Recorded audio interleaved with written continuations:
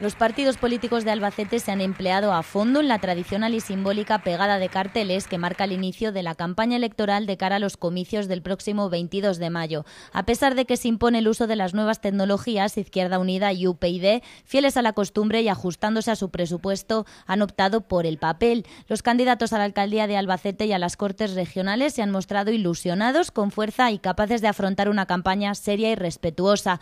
El Partido Socialista, el Partido Popular e Izquierda Unida y UPyD presentarán durante estos intensos 15 días sus respectivos programas electorales a los ciudadanos, donde a pesar del color político, el gran reto pendiente es la creación de empleo.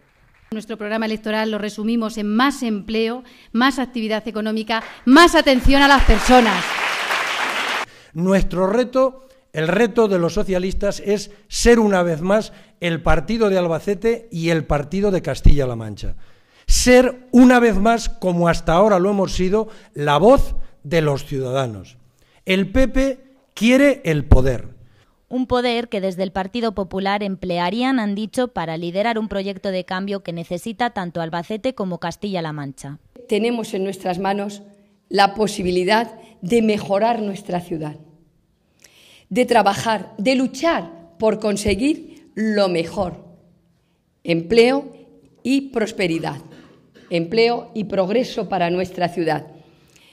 Es que es la única forma de garantizar las políticas sociales. Empezamos con un programa que ya les adelanto a nivel provincial que se llaman 120 soluciones para crear empleo. Aquí María Dolores de Cospedal refleja que el empleo es lo primero. También es lo primero el empleo para el Grupo Municipal de Izquierda Unida, quienes se muestran convencidos de que hay una verdadera salida social a la actual situación económica.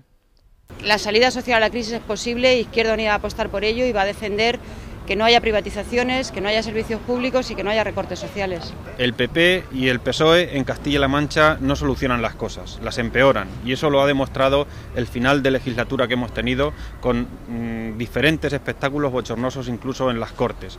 Los partidos minoritarios confían en que sean estas las elecciones que pongan fin al bipartidismo actual y garanticen la representatividad y la pluralidad de ideas. No tenemos encuestas porque nosotros no, no manejamos encuestas, pero las expectativas que tenemos yo creo que vamos a tener representación. Como ayer decía también en la universidad, los partidos pequeños necesitan también estar representados porque hay muchas personas que quieren ese cambio, esa regeneración democrática que nosotros eh, transmitimos a, a, través de nuestro partido y es muy necesario que se rompa el bipartidismo. Son las cortes más bipartidistas que existen en nuestro país. Nosotros vamos a intentar romper ese bipartidismo porque creemos sinceramente que perjudica a Castilla-La Mancha. Los candidatos han querido referirse a los carteles del Partido Popular que han aparecido en distintas ciudades, entre ellas Albacete, adelantándose así a lo que establece la ley electoral, lo que para unos no es más que un error de la empresa encargada de poner estos carteles, para otros es un claro incumplimiento de la legislación vigente. Ha habido un, un problema de logística de la empresa que los tenía que hacer. Y ya hoy, antes de que empiece la campaña electoral, han puesto las vallas incumpliendo la ley.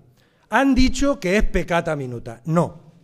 Incumplir la ley, hacer trampas, es incumplir la ley y hacer trampas, no es pecata minuta. La campaña no ha empezado muy limpiamente, pues esta mañana nos hemos desayunado con carteles que ya pedían el voto para el Partido Popular y hemos hecho esa denuncia y en ese sentido. A partir de ahora quedan dos semanas de intenso trabajo por delante, donde habrá distintos actos centrales con la presencia de líderes nacionales y donde los candidatos de los distintos partidos tendrán que ganarse la confianza de los ciudadanos y sobre todo que estos el próximo 22 de mayo lo demuestren en forma de votos.